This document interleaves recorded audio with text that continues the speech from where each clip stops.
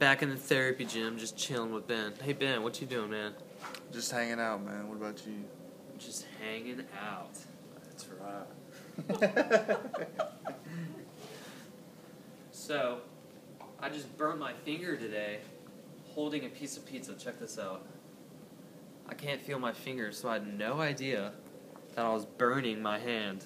Lack of sensation. You got to be careful with spinal cord injuries. That's true. Always, you gotta always check that skin. You never know what's going on.